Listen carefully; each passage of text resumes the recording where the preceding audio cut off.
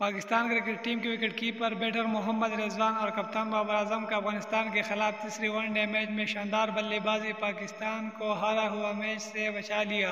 Wicket keeper batter Mohammad Rizwan ने one day cricket में एक और बड़ा संगमीन अबूर कर लिया। मुकम्मल डिटेल आपके साथ शेयर करेंगे। बाबर आज़म के बैटिंग के हाईलाइट्स भी दिखाएँगे, लेकिन उससे पहले अगर चैनल पर नहीं तो इस वीडियो को दिल से लाइक दे और हमारा चैनल बीज स्पोर्ट एडी को सब्सक्राइब करे। पाकिस्तान अफ़गानिस्तान के दरमियान तीसरा वनडे मैच जारी है। पाकिस्तान ने टॉस जीतकर पहला बैटिंग किया है। मुश्किल बैटिंग पिच में पाकिस्तान के wicket keeper batter Mohammad Rizwan और कप्तान बाबर आज़म की शानदार बल्लेबाजी wicket keeper batter Mohammad Rizwan ने उनासी गेंद का सामना करते हुए सत्तर रन बनाए, जबकि कप्तान बाबर आज़म ने छियासी गेंद का सामना करते हुए साठ रन की शानदार इनिंग खेली, जबकि ऑलराउंडर सलमान अली आगा ने इकतीस गेंदों पर अठतीस रन बनाए, मोहम्मद नवाज़ ने पच्चीस गेंदों पर तीस, जबकि फखर जमान ने तैंतीस गेंदों पर सत्ताईस रन की शानदार इनिंग खेली। पाकिस्तान ने अफ़गानिस्तान को तीसरी वनडे में जीतने के लिए दो सौ रन का हदफ दिया है।